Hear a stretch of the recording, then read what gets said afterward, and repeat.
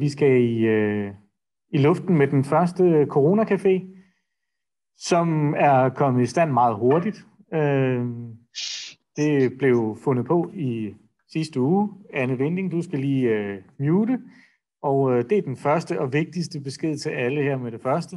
Øh, sørg for at mute jeres, øh, øh, jeres mikrofoner, fordi så slipper vi for, at I, øh, at I afbryder nogle af de øh, oplæsende. Så først og fremmest vil jeg da sige øh, mange gange velkommen til jer, der er her. Øh, jeg ved ikke, hvor mange af jer, der er blevet sendt hjem. Det er jeg. Øh, jeg sidder inde på et meget, meget tomt Københavns Universitet lige i øjeblikket, øh, hvor jeg har fået lov til at bruge de, øh, de lokaler, vi bliver undervist i normalt. Altså normalt går der jo flere tusind mennesker herinde, men i dag der er der simpelthen, ud over regn, gråt og koldt, bare helt umanerligt mennesketomt. Så øh, til alle jer, der sidder derhjemme derude, jeg håber, I hygger jer, har lavet jer en kop te, og eventuelt øh, taget noget kage med. Øh, til jer, der sidder på skolerne, jeg tror, vi er mange, der er en lille smule, øh, øh en lille smule misundelige på jer. Så jeg tænker på, at øh, vi skal da bare øh, se at komme i gang. Øh, jeg skal lige høre, øh, Jonas, er du med os? Du skal lige unmute dig selv. Og nu er der en Aisha i stedet for. Jeg tror ikke, at det var dig.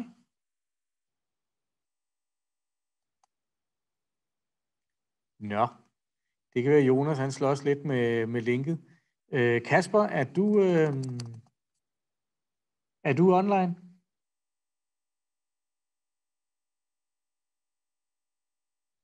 Nå, nå. Forfatterne har det med altid at komme præcis til tiden, det vil sige lige lidt over. Det hedder den, øh, det øh, akademiske kvarter. Nu er en Jonas, der er logget på. Er det dig, Jonas Eika? Det er mig, ja. Det er da fremragende. Hej. Det. Tak skal du have, og hej alle sammen. Jeg tænker lige, at jeg vil lige sige et par enkelte ord om øh, vores, øh, vores første forfatter, øh, som øh, øh, den, den yngste udgivende forfatter, vi har på, øh, på, øh, på programmet i dag. Øh, Jonas er 29 og øh, øh, har allerede modtaget et væld af, øh, af litteraturpriser, øh, heriblandt øh, Nordisk Råds litteraturpris, så øh, vi venter vel egentlig bare på øh, Nobelprisen i litteratur, Jonas. Er det ikke det, der må være næste mål? Jo, lad os sige det. Lad os se. Dejligt. Lidt tålmodighed. Øh, jeg vil øh, overlade øh, ordet til dig herfra, det vil sige, jeg muter mig selv og øh, holder øje med, om alle de andre har gjort det samme, og øh, så vil jeg sige, ordet er dit. Okay, tak skal du have. Og tak for invitationen øh, til, at, til at fejre den her udgivelse sammen med alle sammen. Øh, og tillykke med den. Øh, ja, både til Christian og til alle sammen. Det, øh, det har været rigtig dejligt at sidde og læse den. Øhm, og specielt i denne her, denne her coronatid. Jeg har generelt haft sådan et større og større behov for at læse poesi i denne her tid. Det er måske en af de måder, som coronaen sådan har påvirket mine læsevaner og mine skrivevaner på, det er, at jeg har virkelig meget lyst til at læse poesi, fordi at jeg har måske på grund af den sociale distance og isolation og sådan noget, har haft lyst til den der meget, øh, meget særlige og, og sådan øh, på en eller anden måde meget direkte henvendelse, som der kan være i poesi. Så det har været virkelig fedt at læse øh, jeres digte også. Øh, og jeg blev spurgt, Christian spurgte mig, om jeg, vil, om jeg vil vælge et par digte fra samlingen øh, og læse dem højt. Jeg ved ikke, om, om forfatterne til de digte så er her i dag. Det kan være, at I selv skal læse dem op senere, men, men måske var det egentlig det første, jeg vil gøre. Øhm, og så snakkede vi om, at I kunne stille et spørgsmål. Jeg ved ikke, om det er dig, Christian, eller om det er bare alle, der kan stille et spørgsmål til mig bagefter det. Folk er velkommen til at række hånden op, så øh, kan vi jo altid øh, tage den derfra. Vi har selvfølgelig også en bagkant, som, øh, som vi skal overholde, så ja. jeg bliver den hårde og grove moderator, som siger, det er det spørgsmål tager vi, men hvis der er folk, der har spørgsmål til Jonas, så er det bare om at række hånden op herinde på, på Zoom. Mm, meget gerne. Øhm, ja, så jeg læser, jeg læser de to digte, som jeg som jeg valgte ud fra, ud fra jeres dæksamling, og så slutter jeg af med en lille anbefaling af noget helt andet, hvis I har lyst til at læse noget mere poesi. Øhm, så nu skal jeg lige finde dem frem. To sekunder. Kan I, stadig, øh, I kan stadig se og høre mig, selvom jeg skifter vindue her, ikke? Jo, tager det igennem. Super. Okay. Det første digt, det er af Nicoline Bæk Lassen, som er født i 2001 og går på Borupgård Gymnasium. Og det hedder En form for håndtering. Øhm, og altså, som I ved, så kan digte jo se ud på alle mulige forskellige måder. Øhm, en af de ting, som jeg synes var virkelig fedt ved det her digt, det er bare, at, at det på en eller anden måde er et meget nøgternt digt. Det er meget...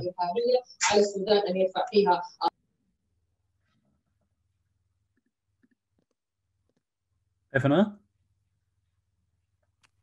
Det var bare et Zoom moment, der kom en ind, som ja. uh, synes, at han skulle afbryde, så du fortsætter bare. Helt klart. Super, ja. Men, men som jeg sagde, jeg synes, at, at det her dæk var vildt fedt, fordi det også på en eller anden måde er, er renset for mange du ved, nogle af de ting, vi ellers tit forbinder med poesi, at det skal være, der skal være nogle bestemte slags billeder og metaforer, og, og det er det er på en eller anden måde et meget nøgternt digt, øh, et digt, der bruger sådan meget dagligdagssprog, og det synes jeg også kan, kan noget helt særligt. Øh, så nu læser jeg det op. En form for håndtering. Jeg skal ikke udenfor, når jeg ikke må. Der er pressemøde kl. 20. Hvordan skal jeg få tiden til at gå? Bærer en kage, ser to til ni sæsoner. Åbner vinduet og ligger i solen. Lader som om det er sommer. Går på Instagram, Snapchat. Tænker nu det nok. Jeg tager en lur på 10 minutter, men vågner og går efter ind på TikTok. Lægger neglelak og græsser det af. Ser på uret, klokken er 17. Nu er der kun tre timer tilbage. Ser nyhederne om alle de mennesker, der dør. Pressemødet var klokken 20. Faldt i søvn 5 minutter før. Ja, det var det, det var det digt, og så selvom der egentlig, selvom jeg lige sagde, at der ikke var nogen billeder, så bliver nogle af linjerne jo nærmest til en slags billeder i sig selv. For eksempel det med den her neglelagt, der bliver lagt på og krasset af lige bagefter, som jeg synes er et rigtig godt billede på en slags restløshed. Øhm, det næste digt, som jeg tænkte, jeg vil læse, det er skrevet af Sigurd Jannike Thomsen, som også er født i 2001 og går på Tornby Gymnasium. Det hedder Glemt.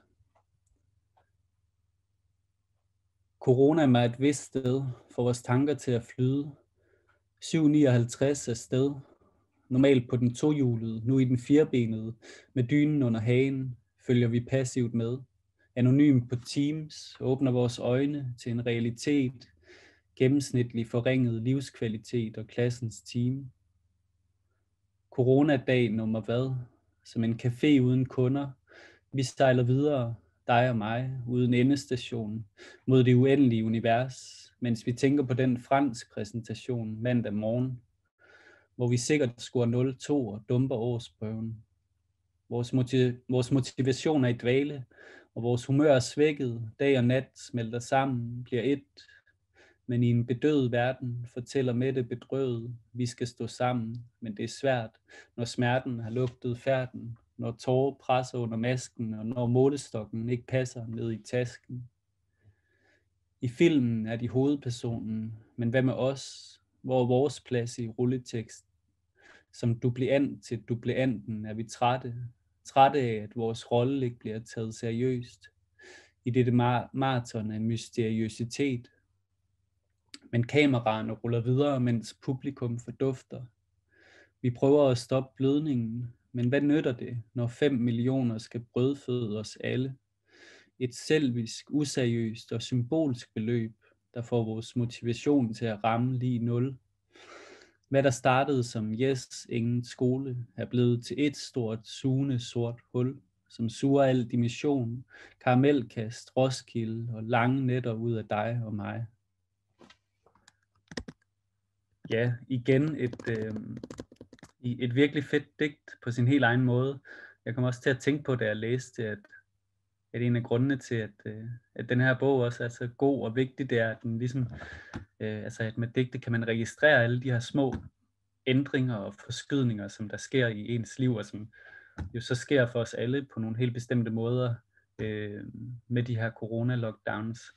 Øh, og så synes jeg også, det var, at der var nogle virkelig fede rim i digtet, en fed energi, øh, og nogle billeder, som bliver nærmest surreale, altså sådan noget som normalt på den tohjulede, nu i den firebenede, med dynen under hagen, øh, hvor det er som om, at, at jeget bliver nærmest styrisk under den der dyne. Øh, ja, og i filmen er de hovedpersonen, men hvad med os, hvor er vores plads i rulleteksten? Øh, synes jeg også er et rigtig godt billede, og, og en spændende måde at tænke over, øh, eller prøve at skabe et billede på den der, den der følelse, man kan have, når man sidder og ser de der pressemøder, at, at man bare skal tage imod ordre, men også, men også har brug for et andet sprog til at, til at sætte ord på sin egen virkelighed. Øhm, ja, det var de to digte, jeg havde valgt at, at læse op. Øhm, øhm, og tak. Øh, tak for jeres digtsamling. Det har været virkelig fedt at læse den. Hvis der er nogen af jer, der har lyst til at stille spørgsmål, så skal I bare gøre det. Jeg ved heller ikke, hvor lang tid vi har, Christian, om vi skal til at skynde os videre. I har jo et program, selvfølgelig. Ja, jeg tror, vi har, vi har fin tid til et uh, spørgsmål eller to, men uh, jeg tror måske, at uh, gæsterne de læner sig tilbage og lytter i øjeblikket. Det skal de også have lov til. Hvis det at, uh, at stille et enkelt spørgsmål. Uh, har du været i skrivehi nu her, hvor uh, vi har været lukket ned i lidt over et halvt år på den ene eller anden måde? Vi har selvfølgelig været lidt åbne i sommer, uh, sommerferien, men uh, uh, hvordan har det været for dig som forfatter, at, øh, øh, at pludselig så er alting, alt det normale, det er bare forandret, mm. som, øh, som vi ser på skrift om et stykke tid for dig? Ja. Altså lige da, lige da der blev det første lockdown kom der i, i marts, eller hvornår det var, der, der kom det faktisk meget kærkommen, fordi jeg havde savnet at have tid til at skrive, og jeg havde en masse, øh, jeg havde en masse forskellige undervisninger og skulle ud og læse op og sådan noget, så lige, lige i starten, der var jeg sådan set lidt ligesom i det digt her, hvor man først tænker, ingen skole, så tænker jeg, yes, ingen arbejde, nu skal jeg bare skrive. Og jeg har også skrevet en del mere, end jeg gjorde, men jeg synes, jeg begynder at kunne mærke den her restløshed, som også kommer med, at, at fremtiden virker usikker, og, og jeg er også vant til, at du ved, så, så tager jeg imod et job, eller planlægger at skulle ud og læse op, eller undervise, men føler ligesom efterhånden, at man ikke rigtig kan regne med, om det bliver til noget. Og det synes jeg begynder at sætte sig som sådan en, en restløshed. Øhm, og så er der nogle ting, jeg ved ikke, jeg tror for mig, der er det lidt for tidligt at sige, om, du ved, hvad kommer, hvad kommer den her, de her corona-oplevelser til at betyde for mit forfatterskab, men jeg har, men der er selvfølgelig nogle, du ved, det gør nogle bestemte temaer vigtige, og nogle temaer, som altid har været vigtige, men sådan noget med omsorg og sårbarhed og generelt udsathed, som vi er fælles om, selvom vi selvfølgelig også er udsat i forskellige grader. Øh, så sådan nogle ting er måske begyndt at få en lidt lidt større vægt i, i de ting, jeg skriver om. Men jeg har brugt en del af tiden på at skrive, en, skrive på en roman, som, øh, som forhåbentlig bliver færdig i løbet af det kommende år. Ja. Det vil vi i hvert fald se, øh, se frem til. Så, men øh, ja, ja, der kommer et spørgsmål, kan jeg se her, hvor der, spørger, der bliver spurgt til, hvilken type roman er det, du er i gang med? Det er en øh, historisk roman, hvilket også er ret nyt for mig. Øh, men jeg er blevet meget interesseret i sådan en religiøs kvindebevægelse, en meget radikal øh, religiøs bevægelse fra 1200-tallet simpelthen. Øh, og så lige pludselig har jeg ligesom siddet og læst om dem og researchet det så meget, at jeg følte, jeg blev nødt til at give det et forsøg at skrive i det i, øh, i fiktionsform. Så det er det, jeg er i gang med. Det lyder ret spændende, vil jeg sige. Fedt. Nå, Jonas, jeg vil sige dig uh, tusind tak for at have deltaget her i dag. Det har været godt at få læst, læst digte op fra en, uh, en digter. Mm. Uh, og jeg er glad for dit valg. Jeg synes også, det var nogle, uh, nogle digte, der vækkede noget resonemang. Så uh, jeg kan se, Emil har et spørgsmål her på falderæbet. Han får lov. Yes. Øhm, ja. Øhm, det er, øhm, hvorfor læser du ikke nogen af dine egne digte op? Jamen, øh, det kunne jeg selvfølgelig også. Jeg fik en invitation ja. til, ej, det, det, jeg fik en invitation til først at vælge et par digte fra, øh, fra jeres bog, så det var det, jeg gjorde. Øh, okay. men jeg har, og så er det faktisk også det, at jeg skriver ikke så meget digte, jeg skriver mest noveller, meget lange ja. noveller, så det vil tage, de skal helst have sådan 10 minutter, et kvarter eller sådan noget til at, um, til at man kan nå at komme ind i dem. Så, Ja. så måske det passer bedre, bedre end anden gang. Okay, helt fint. Mm. Men tak for, at du spørger. Det var så lidt. Cornelia, jeg kunne øh, se, at du også øh, lige markerede, at du havde et spørgsmål, så hvis du bare unmuter dig selv og stiller spørgsmålet, så tager vi det som det sidste. Um, ja, jeg tænkte på sådan, om der var en bestemt grund til, at du havde valgt de digte. Jamen, jeg tror, det var, det var egentlig lidt de ting, jeg sagde, da jeg læste dem op, men altså, det var, to, det var egentlig to meget forskellige digte, fordi det ene var sådan, du ved, egentlig meget sådan stille og roligt dagligdagssprog, og, og der var ikke, det var ikke så fyldt af metaforer og sådan genkendelige poetiske billeder. Øh, det var det første digt, jeg læste op. Øhm, men at jeg ligesom synes, det var et ret godt eksempel på, at man kan, man kan faktisk skrive poesi på virkelig mange måder, og, øhm, og netop også ved ikke at bruge det sprog, som vi normalt tænker som poetisk. Øh, og så det andet digt, tror jeg, det havde meget at gøre med, at, øhm, at jeg synes, det satte det på en eller anden måde, øh, ja, kom med nogle virkelig gode øh, billeder på den måde, som vores sådan, fysiske og sociale virkelighed ændrer sig på, og som jeres du ved, skole, hvordan I går i skole og sådan noget, øh, har ændret sig.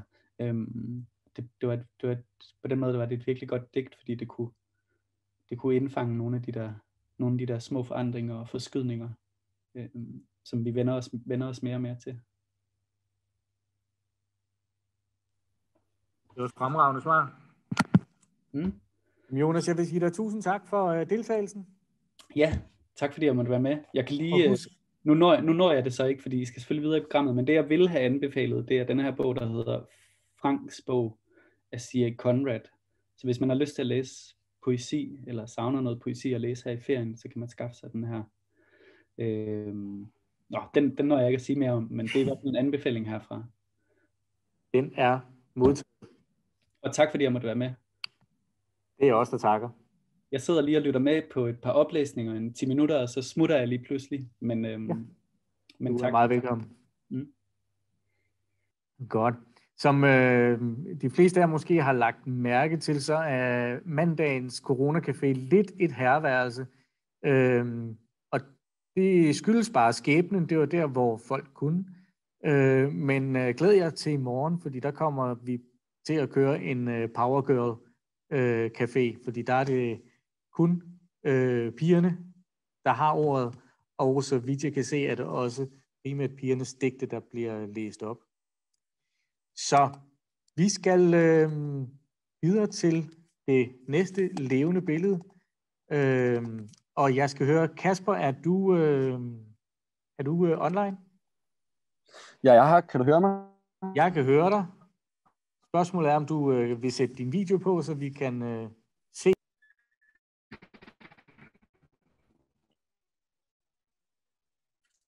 Øh,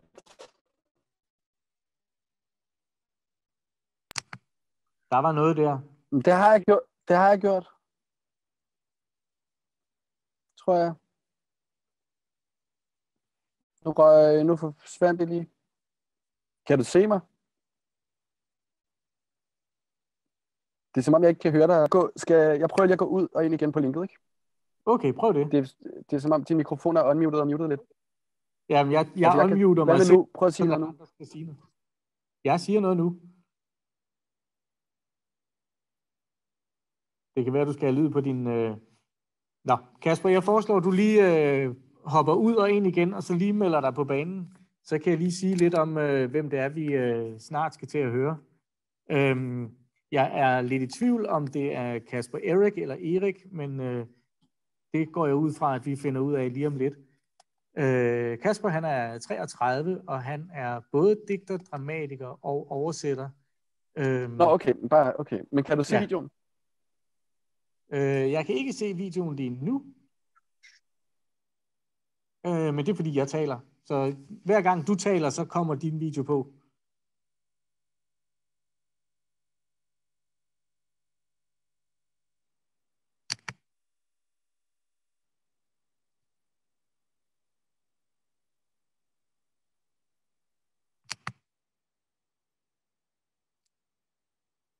Nå, ja ja.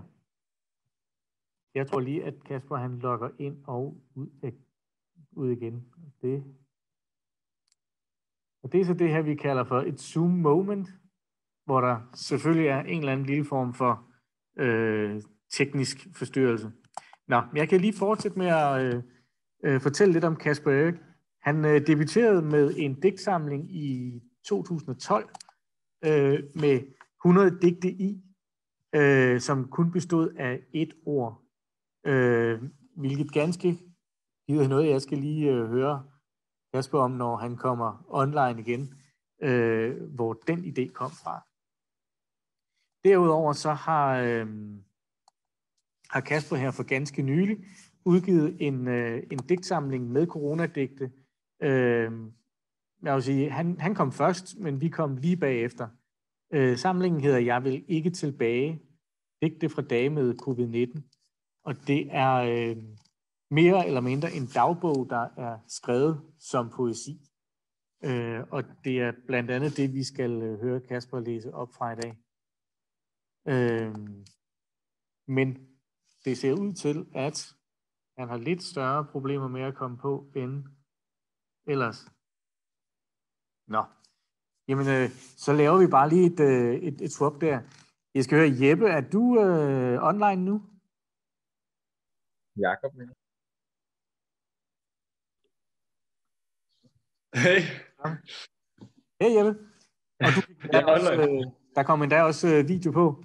Ja. Øh, jeg smider dig lige foran i køen her, og øh, ganske kort kan jeg lige sige, at øh, det er den øh, kønunge mand, som øh, dukkede op lige før.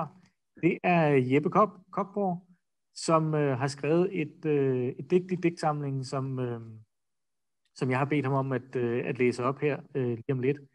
Og så er der lidt rygter, der går på, at øh, Jeppe arbejder lidt på at lave en bog med coronafortællinger. Øh, men øh, den tror jeg, vi kommer til at høre mere om lige på den anden side af nytår. Men Jeppe, jeg tænker, vil du overtage mikrofonen her, så øh, snakke lidt om øh, fædrelandskærlighed? Det vil jeg helt vildt gerne.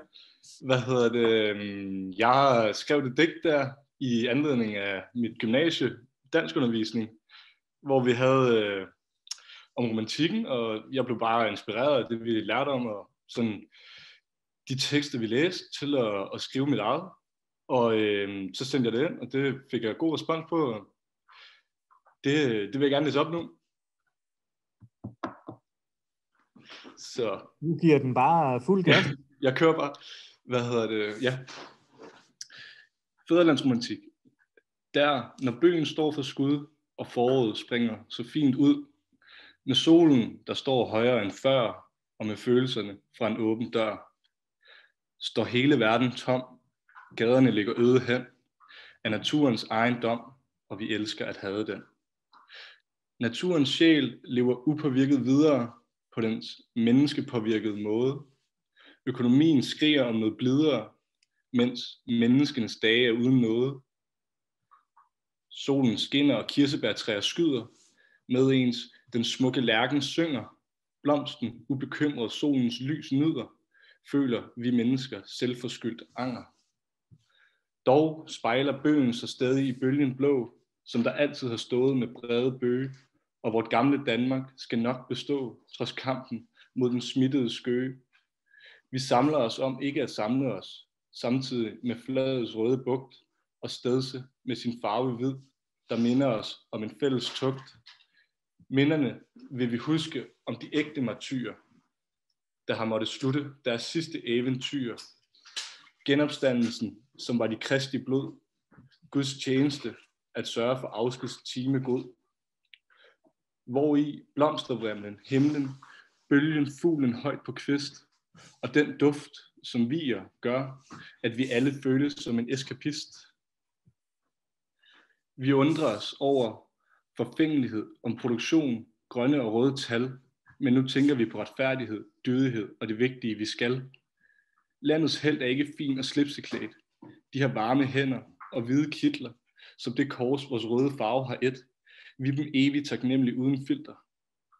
I fællesskabets ånd vil vi samle os til det stærkere, og der hvor vejen slår en bugt og en anden følger, vil vi genopstå fra asken som et folk, kun sundere, og se, at et smukkere hus på den anden side ligger, fordi det skal og vil til evig tid bugte sig i Bakkedal, hed Danmark og være Freja Sal.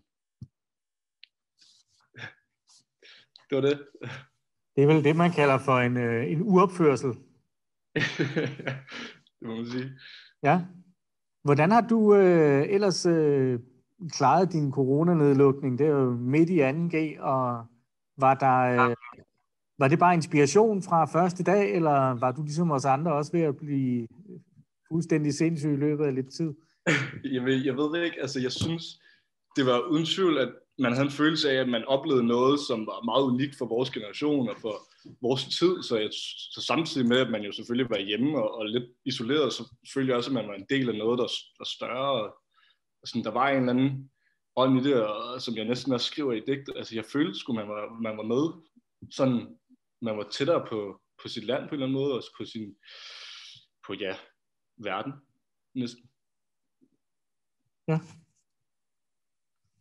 Og det der med at gå ind og, og, og lege med, med, med nationalsangen og, og sådan noget, som, som mange mennesker sådan, tror har et meget følelsesmæssigt forhold til. Ja. Øh, det, det gør du meget ubesværet. Altså, hvad, hvad har du gjort der tanker om det? Ja, altså jeg har, der er mange også, næsten passager og næsten hele vers og afsnit, som jeg har taget fra, fra andre digte også, øh, Adam Mønslager og, og når man er hos Andersen også, så altså, jeg, har, jeg har nærmest øh, jeg har øh, givet mig frie rammer til bare at, at tage, hvad jeg gerne vil. Men øh, jeg, jeg synes egentlig bare mest, det var sådan en hyldst til det, så jeg føler ikke, at, at, at det var sådan, jeg føler også, at jeg har holdt mig inden for rammerne og, og, og gjort det med, øh, med respekt for, for de gamle digte. Mm. Så du, med, så du har lavet sådan en, en, en hip-hop ting med, at du simpelthen har stjålet med arme og ben og samlet lidt her og der? Ja, det er 100 procent. ja. det, det kan man godt sige. Det er fantastisk. Øh, jeg skal lige sige over fra, fra Kasper, at øh, han øh, har broadcastet fra en bunker, så hvor wifi'et er gået, så øh, han prøver at logge på igen her øh, øh, om, om, omkring nu. Øh, så øh, ja, Jeppe, har du, øh, har du en af dine historier liggende? Øh, ja, det har jeg jo sådan set. Jeg tænker på, om ikke øh, du kunne have lyst til lige at, øh, at læse den bedste, du, du lige har i, i baghovedet op. okay. Hvad hedder det? Jo, jeg vil gerne, jeg vil gerne gå lige og kigge, i hvert fald. Det synes jeg kunne være fantastisk. Historien er den, at øh, da jeg fik Jeppes øh, digt øh, tilsendt på mail for nogle måneder siden, øh, så kunne han ikke lade være med at sende mig noget andet, øh, som var nogle små afkorte historier, små noveller, øh, som bare havde en eller anden god feeling af, af noget, og så spurgte jeg ham, at hvis han nu ikke havde så meget at lave de næste par uger, hvor vi var lukket ned, om ikke han kunne tænke sig at tage den udfordring, der hed, at øh, der skulle skrives en coronahistorie hver dag. Øh, så udfordringen lød jo bare, Gå 28 dage træk, skriv en coronahistorie, og så må de rigtig, rigtig gerne væve sig sammen. Øh, og det har de så gjort.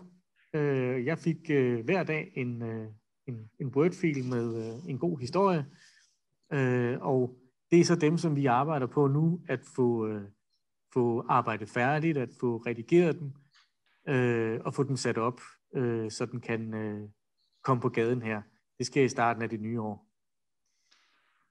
Så, jeg ved ikke, Jeppe, har du fundet en... Øh... Ja, jeg har fundet en. Du har fundet en rigtig god en. Det er strålende. Så får vi simpelthen også en uopførelse på øh, en smagsprøve på øh, coronabog. Det må man sige.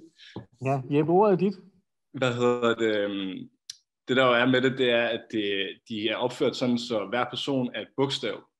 Så den, vi skal høre om nu, det er om en, der hedder, øh, han er B, i, øh, i alfabetet. Og øh, det, øh, jeg vil gerne starte med, altså, den er, øh, jeg har, den her det er en af dem, der larmer lidt. Det er en af dem, der, der har lidt et, et touch. Øh, så øh, den, øh, den vil jeg gerne læse op nu. Den starter sådan her. Hvorfor skal du altid snakke så helvedes meget? Udbrød B i en vred tone. B's kæreste M kiggede mundlam på ham. I det ordene var løbet over hans læber, fortrød han det med det samme. Det var ikke meningen, at han skulle ødelægge aftenen, og at på den måde skabe en konflikt. B var egentlig heller ikke træt af M, men han havde bare følt sig stresset af sine studier her for tiden. Han kunne ikke helt overskue små ting mere, og dagen før havde han indebrændt skældt en bilist ud for ikke at vige for ham. Egentlig havde bilisten også holdt tilbage, men på grund af den lille rundkørsel havde det været svært for bilisten at orientere sig. Dette var ingen undskyldning for B, hvad han også havde brugt en halv time på at forklare og udtrykkeligt beskrevet, hvordan hele hans dag nu var udlagt. Først kom han for sent på arbejde og måtte springe dagens første kop kaffe over. Derefter lappede mødet sikkert ind over det næste kaffepause, og sådan mente B nu, at hele hans dag var ødelagt. Bilisten, der intet kunne gøre mod dette rasende menneske, havde skyndt sig tilbage til sin bil, da prædiken var over. B's dag blev dog ikke ødelagt, fordi det første møde var, blev aflyst, og derfor havde han øh, en, og en time og syv minutters pause, før han skulle ned igen. Men trods det følte B stadig, at hans arbejde og studie ved siden af havde udviklet sig rundt om ham og fanget ham i et net. Et net, han ikke kunne komme ud af. Han følte, at der var for meget om ørerne på ham. Hele hans dag var optaget syv dage om ugen. Presset kom fra alle sider, og han havde intet sted at gå hen med det. Andet end at afreagere midt på en kinesisk restaurant en onsdag aften på, med, på sin kæreste. Hun havde ikke engang snakket meget, men havde brug, bare brugt lidt tid på at forklare, hvordan hende og veninderne vil holde et lille kom sammen, og at de måske kunne bruge nogen, der skulle tage nogle billeder. De havde faktisk et godt forhold, og der var aldrig rigtig så mange problemer, og de snakkede faktisk heller ikke som, om så meget. De nød hinandens selskab, men behøvede ikke at snakke hvert andet minut. Hvilket også gjorde, at de hurtigt var flyttet sammen, fordi de næsten fik bedst stillhed ved at være sammen. B søgte ikke stillhed hos en person, men han måtte da erkende, at dette stadie, ham og M havde fundet sammen, passede ham vældig fint. Dagene gik meget problemfrit, og når de hørte andre kæresters problemer, så var det ingenting i forhold til, hvad de havde. At M havde det med at ødelægge tandpastatuben, og at B må, måske i en fjern fremtid vil stoppe med at tisse i badet. De sad tit sammen og hørte på deres venner klage over deres parforhold. Som regel kom folk til B og M, hvis de havde brudt, op, brudt med kæresten, og kun ville blive lyttet til. Folk ringede bare på, og kodeordet var efterhånden blevet til, at man bare skulle give sig til kende, at, hvad man havde i hånden. Så når folk halvstive sagde i dørtelefonen, Ben Jerry og whisky, blev de derefter lidt elegant på sig ind. De næste tre kvarter gik så normalt med, at personen bare sad og klagede over, hvor hårdt det var at være i parforhold, og hvordan ham fyren fra baren havde kigget ekstra meget i sidste uge faktisk. Derefter faldt de som regel i søvn. Men nu sad det lykkelige kærestepar over for hinanden, hvor stillheden, der varede ved i få sekunder, endnu ikke var påskyndet. M gik fuldstændig i stå. Hun brugte 5 sekunder på at samle sig, hvor hun så, inden B nåede at sige undskyld, tog sin fra jakke og styrtede ud. B, der skulle lige til at undskylde, skyndte sig efter. Han følte, hun overreagerede på noget, han slet ikke mente. Hun burde skulle give ham tid til at forklare, at det ikke handlede om hende, at det var en fejl fra hans side, og at han jo selvfølgelig ikke mente det. Men hun løb bare, og efter hende rendte B halene efter hende og ud ind imellem borer, og folks blikke var det værste. B prøvede at få det til at se normalt ud over for de andre gæster, hvilket det ikke gjorde. Det lignede alt det B afskyede ved kærester. Hele den der del, der hed, kom tilbage til mig, skatter, jeg har kvaret mig, delen. Den del, hvor de store landsbydrenge altid står med deres lille prinsesse og skærer deres hjerter ud til dem. At fortælle dem, at de betyder alt, og at stoffer og vold er fortid, for så at tage hjem og tæske dem dagen efter. Eller når en eller anden idiot havde kæftet op om alt muligt over for tøsen, og så selv skulle stå skoleret bagefter. Man så dem også tit stå med prinsessen uden foran byens diskotek og spritstiv liv hende ind i hovedet, og love hende guld og grønne skove. B kunne ikke afsky alt det drama bare et sekund. Men nu stod han selv i det. Halsene bag ved hans grædende kæreste. Hvor så det, hvor så det grimt ud, sikkert. M løb helt ud. Det var stadig marts, og hun tog hurtigt sin jakke over sig. Trods aften var der stadig mange biler på vejene. Uden situationsfornemmelse kiggede B undrende på sit armbåndsur. Klokken var 20.32, og vejene var fyldt med biler. M stod nu og græd med hænderne i dækkene for ansigtet. Lige så stille kom B om bag hende og prøvede at komme tæt på hende. Hun ville ikke have det og skubbede ham væk fra sig. B stod nu lige et øjeblik og tænkte situationen igennem. Måske ville hun bare have lidt tid, eller så ventede hun på, at han sagde noget. Det kunne også være, hun ville have ham til at gå, men det nægtede han. Han krævede, at han kunne nå at forklare sig. Det var ikke ment på den måde. Han ville ikke ramme hende med, at han følte sig stresset. Det var ikke hendes skyld, og han udbrød, jeg kan jo lide dig, jeg elsker dig. Hvor det nu end kom fra, det vidste han ikke. At han elskede hende, Var elske ikke et stort ord? Var det ikke et ord, piger plejede at lægge stor betydning i? Eller var det på tværs af alle køn? Hvorfor tænkte han ikke situationen nøje igennem og overvejede noget klogt at sige? Nu stod han her, endnu mere blottet og forvirret over, hvad han skulle gøre. Men hun rykkede på sig. Hun vendte sig, ind, sig nu lige så stille om. B kunne se på hendes ansigtsudtryk, at hun var overrasket. B var selv overrasket. Hun skulle ikke også være det. Elskede hun ham ikke? Eller var det måske kompliceret? M kiggede nu indgående på B. Hvad er det, du siger? Hvorfor spørger hun om sådan noget? Han var selv forvirret. Tror hun, at han bare har alle svar? M. Du lytter jo aldrig til mig. Hvilken bombe at smide. Det var ikke den opfølgende kommentar, han ventede. B lyttede da tit. Han var da altid med til at høre hendes filmforslag og spurgte altid, hvad hun havde lavet i dag. Hvor kommer sådan noget fra? B kunne ikke finde fodfæste i situationen. Hans ben var blevet faret væk under ham. Han følte det som om, at intet i hans krop gav et svar på, hvad han nu skulle gøre.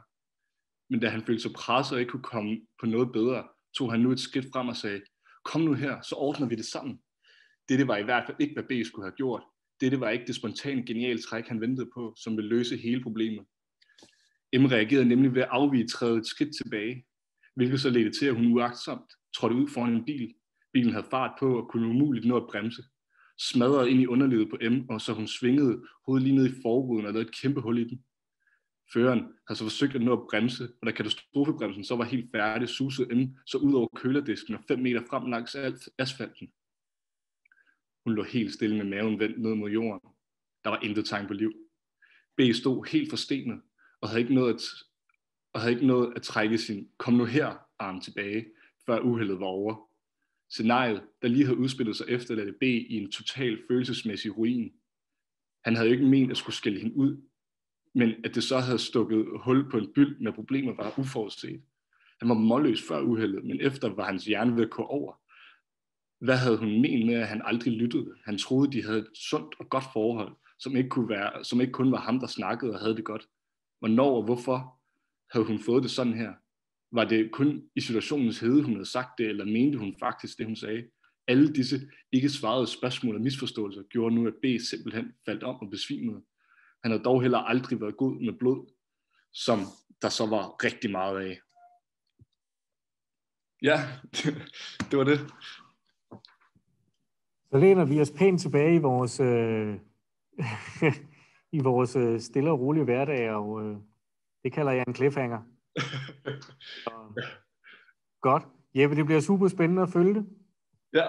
Ja, så uh, tusind tak, fordi du ville, og tusind, tusind tak, fordi du lige tog en, uh, en, uh, en stand-in-rolle her.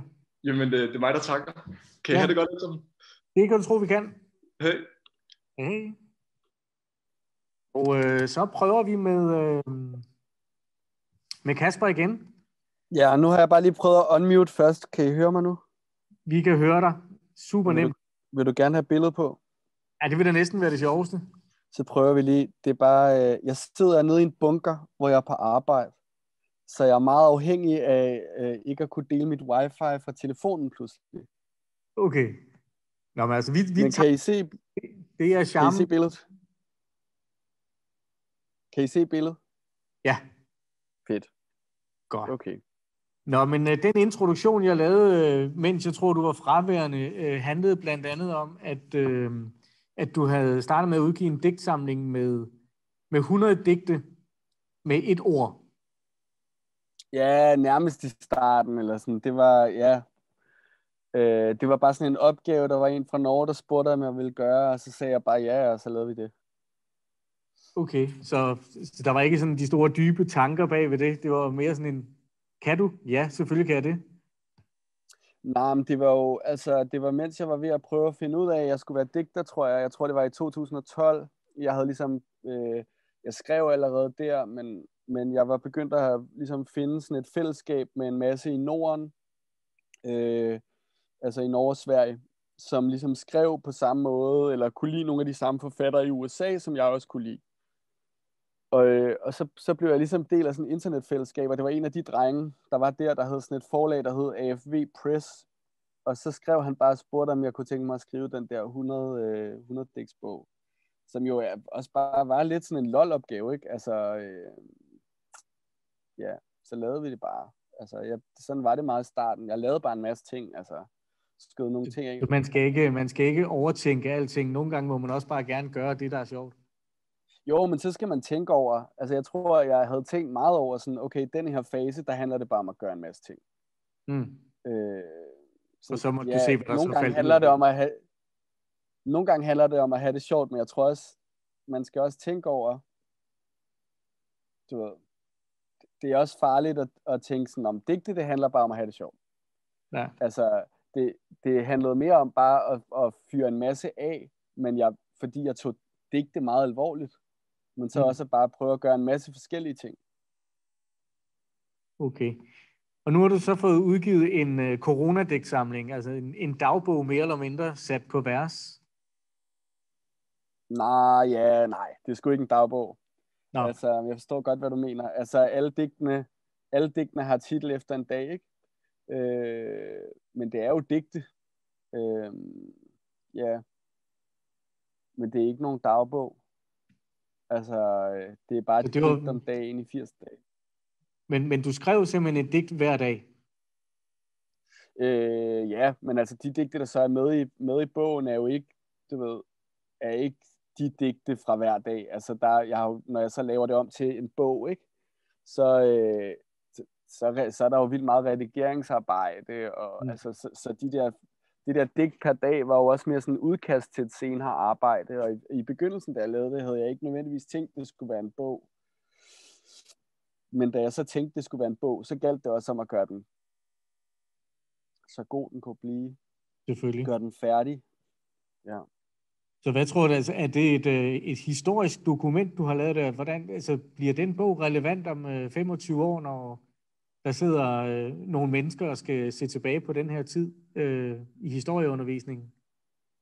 Jamen, jeg tror allerede, den er relevant nu.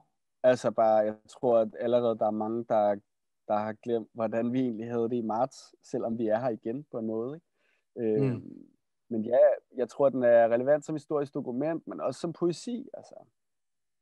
Jeg synes, Jonas sagde noget meget fint om, øh, det er noget, jeg bare lige at høre og se. Altså, det, det med at digte også i forskellige slags sprog, ligesom kan være med til at sådan sætte ord på nogle af de der små forskydninger, der sker i virkeligheden. Ikke? Og det er, jo, det er jo det, jeg tænker, det er jo, det er jo den måde, poesien dokumenterer. Altså, dokum, poesien dokumenterer også vores følelsesliv på en måde, som, som nyheder og sådan noget for eksempel har svært ved. Mm. Right. Jamen, øh, jeg tror bare, at øh, jeg vil øh, mute mig selv igen, og så vil jeg læne mig tilbage og høre, hvad øh, du har valgt at læse op. Ja, jeg har bare valgt tre digte. Nu kommer øh, Nielsen kommer lige ind. Han har købt frokost. Vi blev lidt forsinket. Men øh, det er bare så, I ved, der lige er en anden person i lokalet, ligesom når man kører i bil. Øh, jamen, jeg starter bare med at læse dag to op, tænker jeg. Og det lyder sådan her. Dag 2. For to uger siden sad jeg til et middagsselskab og sagde til en ven, at vi ikke skulle panikke. Men nu er alle news blevet breaking news, fyldt med nye ord som solnedgangsklausuler og mørketal, og i de indre kontroltårne sidder forskerne og ryster på hovederne. Det vi oplever som et dagligt chok er også bare naturen, der opfører sig naturligt. Og nu sidder vi her med en død idé om den globale verden som en legeplads. Vi kan ikke længere lukke øjnene for, hvad der sker i Hubei-provinsen, for hvad der sker i fødevareindustrien, rydningen af skovene, der smadrer habitater og tvinger en flagermus tættere på os, tvinger den helt ind under huden. Ironisk nok har vores trang til at kontrollere verden omkring os gjort vores kroppe skrøbelige. Det var nok ikke det her, politikerne havde i tankerne, dengang de drømte om det frie marked. Men jeg mærker også et håb, et omkostningsfuldt håb, om at vi gang har viseverden hængt en seddel op. Husk, at det er på hinanden. Så kom Rosa, hun havde købt håndsprit med.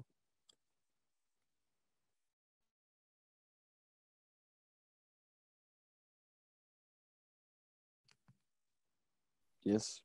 Det var det første. Vil du have flere i træk?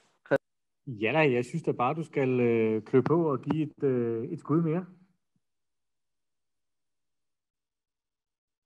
Jamen, så får I et til øh, dag 45. Fuck, det er crazy at skulle handle ind lige nu med krydderen fuld af pollenallergi. For seks uger siden var et lys bare et lys. Det var helt digtet. Der er sådan noget med, at jeg kunne mærke, jeg kan se sådan i forarbejdet, der er ligesom noget med, at øh, jo mere tømmermænd jeg har haft, jo kortere blev digtene. Her kommer dag 29. i seng, mennesketom stranden eller Himalaya-bjergene, der nu kan ses med det blotte øje, efter at smokken er reduceret massivt. Jeg ved ikke, hvem det er, det skal trøste, at klimaet faktisk står til at redde, når økonomien stadig dikterer debatten, når de rige stadig køber bunker i Skotland. Hvorfor er økonomien i øvrigt i krise, bare fordi vi har lukket ned i en måned?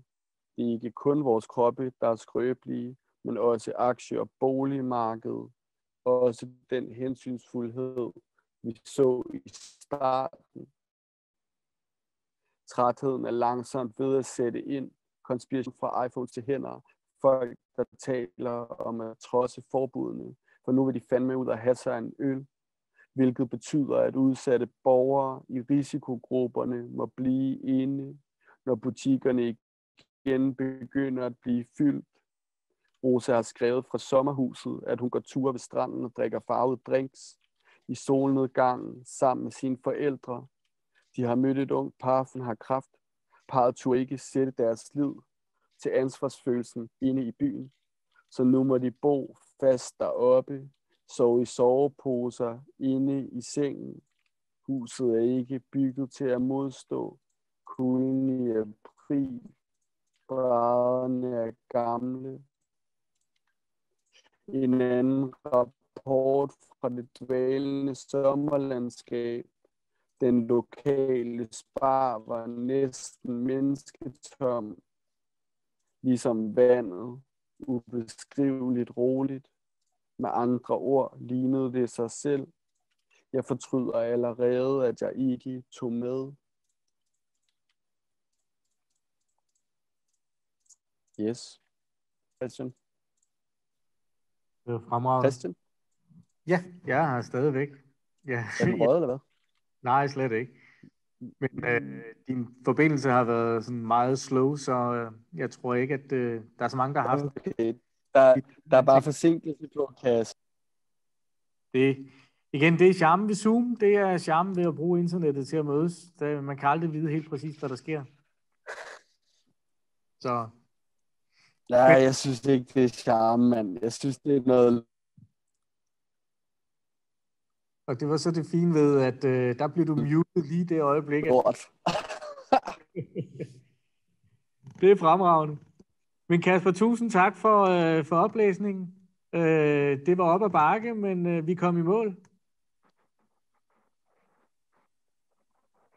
Jeg tror, du så er røget helt. Øh, Jamen, det var så lidt... ja. Men øh, god arbejdsløs Sådan det. Øh, Du skal øh, streame øh, en masse det næste lange stykke tid. Altså, jeg kan, jeg kan sagtens høre jer til. Ja. Du hakker bare lidt i det i den her ende, så... Men altså, vi kunne høre din oplæsning. Det var Nej, helt sikkert. Ha' en dejlig dag. Tak fordi jeg måtte være med. selvfølgelig, selvfølgelig. Okay. Right. Jamen, så mangler vi sådan set blot øh, det sidste levende Okay. billede på... Øh, Det var godt. Ja. Ja. Vi ses.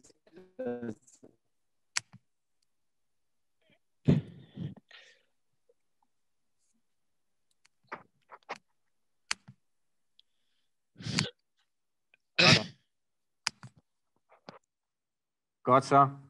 Jamen, øh, vi skal s- videre til det aller sidste øh, indslag, vi har i dag.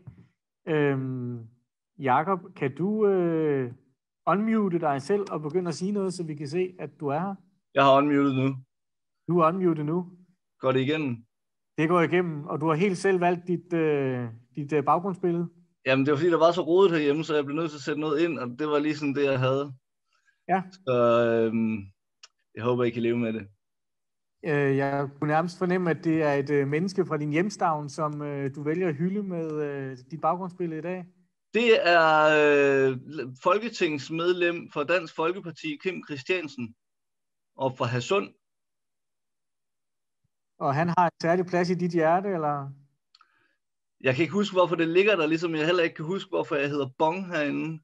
Jeg har sgu ikke, øh, jeg, jeg, jeg har brugt det her program her for nogle måneder siden til nogle andre møder, og så, så nu ser det sådan her ud. Altså det er en værd, og jeg ved simpelthen, jeg kan ikke huske en skid om, hvordan man indstiller de her ting. Øh, jeg Nå. ved ikke. Jeg kommer til at hedde Bong.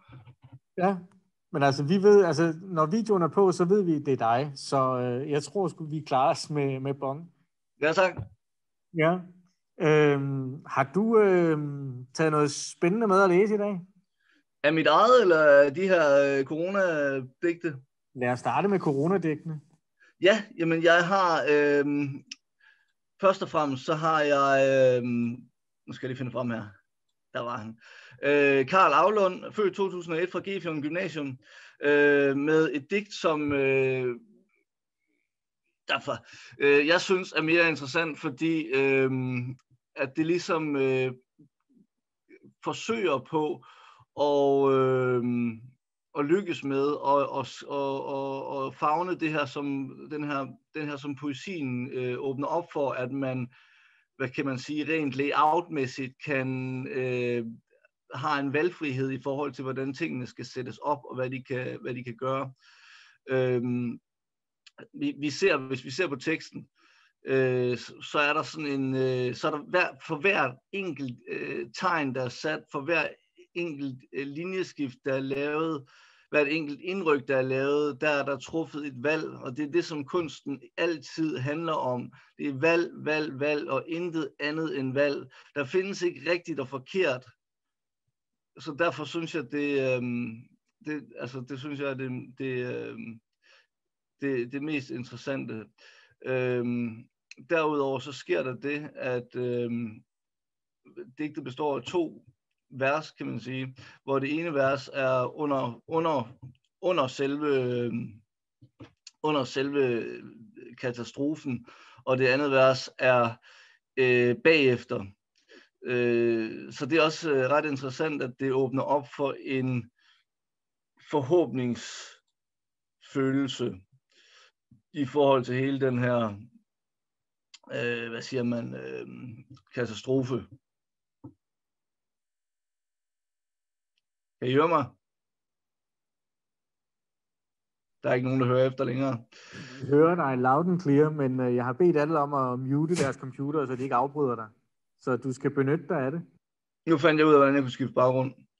Sådan der. Øhm, jeg læser digtet op nu. Jeg har to, så vi starter bare med Karl her. Er I klar til det? Så hvad skete der med vognen, den velkendte ny fødsel, livets bebuder, den rundhåndede deler af kindrøde blomster og rødeste kinder, når latter bliver kysset, og i et kys planter latter i dem, som var ventende, famlede, som famlede om lygter og længselfuldt drømte, om forårets komme, forglem mig i have, berusede netter med dem, som de manglede og savnede. Se, det blev til en stille affære, hvor intet sig rørte i frygt for det ukendte onde, som lagde sig tungt, ja, det siges i hvert fald, men sandheden er den, at livet aldrig lod knække. For nok var vi bange, men i os der hamrede hjerter af længsel og håb for hinanden, mens våren, som æbletræs blomsterblad, brusende farede til himmels.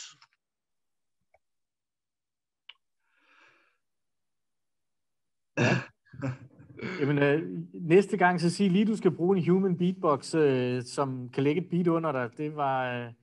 Nu har du afsløret dig selv, at, øh, at du også har et, øh, en, en, en hemmelig identitet som hiphopper. Så øh, det kan være, at, øh, at øh, vi skal se, øh, der er kommet noget, øh, noget corona-hiphop på et tidspunkt. Øh, jamen, det tror jeg desværre ikke. Jeg har simpelthen ikke tid til det. Nu får I den her baggrund, det er mig selv. Ja. Øhm, øh, der kommer ikke til at komme særlig meget corona-skrift for mig, udover øh, et lille øh, bid. Øh, jeg har lige udgivet det her langdigt som øh, jeg prøver på at få til at komme i fokus nu. Øhm, det hedder, det hedder, så sådan ser det altså ud, når de helt tunge drenge tester deres produkter på forbrugerne. Der var det. Sådan ser det ud. Øhm, og deri der er der en enkelt linje, hvor corona bliver nævnt. Øh, det er en statusopgørelse over verden af i dag, men øh, det er ikke fordi, at øh, der er særlig meget corona, fordi jeg synes, det er sådan, det var lidt ligesom det her interview, Weekendavisen lavede for nylig med Karl Uwe Knavsgaard, hvor øh, du har Knavsgaard igen øh, fra, fra England, ikke? og så begynder du at sidde og spørge ham om, hvad han mener om corona. Øh, det er sådan, folk har ligesom talt om det, vi hører ikke om andet. Mette Frederiksen står og græder på tv, du ved. Øh, hvad kan jeg sige? Øhm, jeg synes i stedet for, at jeg vil overlade ordet omkring corona til øh, de digter, vi har i huset i aften, og gå videre til den næste digt. Det synes jeg er interessant, fordi at det, det, det der på spil her, der er netop det, som Jonas Eike også talte om, da han præsenterede det første, han skulle læse op. Øh, der er en slags, øh, der er en slags ikke poetisk vildhed. Der er ikke den, der er ikke sådan et, et, et, øh, en øh, himlen imod det poetiske, men der kommer netop derfor kommer der en helt vild poesi ind i nogle af linjerne. Det minder mig på en måde om, jeg læser, jeg er begyndt at læse øh, nationalklinod i Dan Tyrell, øh, i disse tider. Det kan jeg vende tilbage til, hvorfor. Øhm, men det, det minder mig lidt om den, den øh, sådan slendrende gang igennem virkeligheden. Øh, det er en meget sand poesi, som ham her, Jakob Ratrup Andersen, øh, født 2003 øh, på Birkerød Gymnasium, øh, han leverer her. Jeg synes bare, vi skal tage det digtet uden titel. Her kommer det. Har brug for at gå en tur, bare for at få en smule luft savner at kramme folk eller kigge dem i øjnene. Jeg bliver utålmodig, så meget jeg gerne vil nå inden året er omme, for meget tid til at tænke på dumme ting. Det var ikke sådan en slags pause, jeg havde brug for. Jeg får aldrig nok søvn. Prøver at distrahere mig selv med rytmer. Men hvad som helst, jeg kan komme i tanke om. Går ned i køkkenet hver tiende minut og håber, der er noget nyt i køleskabet. Der bliver en, det bliver endnu en Nutella sandwich. Et maleri fra 1981 er måske lidt uopfindsomt, tænker jeg, som om jeg er en ekspert. Lægger mærke til alle de små ting i mit hus. Mit værelse er endelig rent, og jeg kan finde alting. Gid jeg havde et trommesæt eller et klaver. Tjekker alle boksen af på min tjekliste. Nu hvor jeg har så meget tid, glæder jeg mig til at blive 17 uden gæster. Jeg har lavet en udstilling af mine coladåser på mit bord. Min ven ringer for at tale om hvad som helst. Jeg falder i søvn med telefonen i hånden. Og det er sådan nogle linjer, det var, det var slut nu, nu begynder jeg at tale.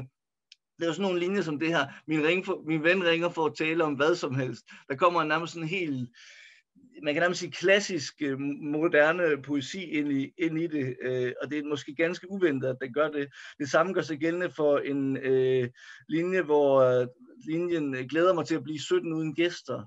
Øh, vi får en klar fornemmelse af det her menneske, som sidder på sit værelse og bare glæder sig til at blive 17. Det er i det hele taget ret, øh, ret skønt. Øh, og så uden gæster rammer jo så tiden ind. Gid jeg havde et trommesæt eller et klaver. Det er også bare to øh, gode linjer, som viser, hvordan poesien kan arbejde ved at stille noget helt alene på en, øh, på en linje. Øh, der var en ting mere. Jo, så er der det her, gå ned i køkkenet hver 10 minut og håber, der er noget nyt i køleskabet. Det bliver endnu en Nutella sandwich. Man kan umiddelbart sige, at åh, kæft, det lyder som sådan en rigtig forkælet øh, dansk øh, dreng. Øhm, men det, det er også bare en ærlig måde at fremlægge den forkælethed på, vi ligesom arbejder med øh, til dagligt her i Danmark. Jeg kan ret godt lide din analyse, ja, det må jeg sige. Det er kun begyndelsen. Det er kun fordi, vi ikke har så meget tid, jeg ikke foretager. Ja. Hvorfor er du ikke dansklærer? Min seneste roman hedder Der går min klasselærer. Ja. Øhm, og handler om en dansklærer. Jeg har ikke, jeg har simpelthen ikke, øhm, jeg har simpelthen, det, det er sjovere bare at skrive. det synes jeg så er ganske fair. Øhm, og så har jeg jo så set, at, øh, at du faktisk også begynder at skrive rigtig meget. Altså, du har søsat et, øh, et sådan løbende projekt, hvor du skriver hver eneste uge? Ja, jeg, jeg, har, ind, øh, jeg har indledt et projekt øh, Søndagsfortælling, som er en podcast, man kan følge på alle de podcast-apps, der er derude, hvor jeg hver uge skriver en ny fortælling af cirka en halv times varighed. Novelle kan vi også kalde det. Det er det, man normalt ville kalde for noveller, hvis man var i dansk undervisning for eksempel. Øhm, skriver den, redigerer den, indtaler den som øh, podcast, eller som lydbog og udgiver den som podcast. Det er et helvede stort arbejde, sådan set. Så stort er det heller ikke, men med den tid, jeg har sat af til, det bliver det ret stort. Det bliver det ret øh, hårdt nogle gange. Men det er skønt at, at, at slide i det for, for at nå de ting, man gerne vil nå. Øhm, og de her fortællinger, de, øh, de kan nogle af dem er sjove, nogle af dem er spændende, nogle af dem er ubehagelige, nogle af dem behandler en uh, tidsaktuel problematik i dagens Danmark. Den, der kommer næste søndag, handler om flygtningekrisen. De sidste to søndage her uh, har vi lige kørt en, en julehistorie, som foregår i Aalborg uh, under julen. Den hedder en gangsterhistorie, så det er altså ja, en uh, fortælling om nogle gangster i Aalborg. Uh, og og, og, og, og øh, udover det, så kan jeg sige om det her projekt, at de, de her fortællinger bevæger sig rundt og foregår i hele landet, blandt andet også i Jorsens, eller Horsens, som man normalt øh, vil kalde det. Øhm, så hvis I sidder derude, øh, venner, og lytter med nu, så kan I øh, stille ind på søndagsfortællingen på en hvilken som helst podcast-app, og så kan I glæde jer til, at fortællingen kommer til at foregå i lige netop jeres by. Jeg har faktisk også tænkt mig, at det skal være sådan, at folk kan stille ønsker til, hvor den skal foregå. Ligesom... Øh, Ja, ligesom, øh, ja. Øh, Rejseholdet og, gamle dage, der har også lavet den, hvor de rejste fra by til by og opklarede et mor. Ja, præcis. Lige præcis. Så det, kan man, det, det kommer til at ske nu, at man kan ønske øh, fortællings, øh, også tematikker og hvad, hvad fortællingen skal behandle og sådan noget. Men det er lige et spørgsmål om at få det sat i søen. Jeg skal køre presserunde 3 snart, hvor vi også kontakter de danske ambassader i udlandet. Så så meget for det. Det er skidespændende. Udover det, så arbejder jeg jo på min nye roman, som bliver en seksualpolitisk øh, absurd komedie. Den er også ret meget i gang nu. Det er en, den, den er så sjov. Den er virkelig, virkelig, virkelig sjov. Men man skal også passe på, at den ikke bliver for sjov, fordi altså, så, så tror folk, at man, øh, at man er useriøs. En glæder meget til at se. Du har i hvert fald øh, plantet nogle frø. Og, det har jeg. Det har jeg, Christian. Det har jeg. Øhm, og udover det, så har jeg jo netop udgivet langdigtet, øh, så sådan ser det altså ud, når de helt tunge drenge tester deres produkter på forbrugerne. Der var den. Øhm, og det vil jeg gerne læse et lille stykke op af. Det får du lov til. Det slutter aften eller dagens café af, så øh, giv den gas. Det gør vi. Du sang en sang om Che Guevara. Vi så hans barndomshjem med statuen. Drengen på muren, hovedet i hænderne. Han så ud i den silende regn. Vi så ham ind i øjnene. En bronzestatue, gule øjne, sorte pupiller, sideskilning på Cuba. Che i march med et barn på armen, cigar, en rytter på skulderen. Hans barnebarn flygter til Miami, udgiver Drengda Dres Revolutiones. Røde lamper og skråt, tomme busser, tomme tog, spøgelsespassagerer, vanvidskørsel, ingen vand i hanerne. Jeg bliver nødt til ikke at have noget at miste. Ikke et hjem, ikke nogen kære, ikke nogen, som nogen kan tro mig med at skade. Ikke noget at miste i flugten. Gå mod solen! Bare luk og skid unger ud, så de kan få deres Prozac, etc. Zigzag, zigzag, formålsløs cirklerne. Grydens spilkur. What a time to be alive! Guldfiskehjernerne har valgt deres guldfiskeguru, en åndsamøbe, som de kan spejle sig i. Et afbræk af alvor i den permanente cirkus, som er normalen. Du not compute forestillinger om retfærdighed kærlighed. Menneskene er dibedutter. Menneskene er legetøj. Menneskene går i stykker. Drop din OCD! Det var bare to sider. I kan glæde jer til det. Bare ud og, bare ud og finde det, mine damer og herrer. Jeg ønsker det julegave. Jeg sender også signerede eksemplarer øh, ud, mm, hvis I skriver det i jeres bestilling. Bang Jakob Skyggebjerg på Facebook. Skriv øh, personligt til ham og bestil en, øh, et eksemplar med en personlig dedikation. Øh, jeg tør ikke love på, hvad der bliver skrevet som dedikation, men jeg fornemmer, at der er en vis energi bag det.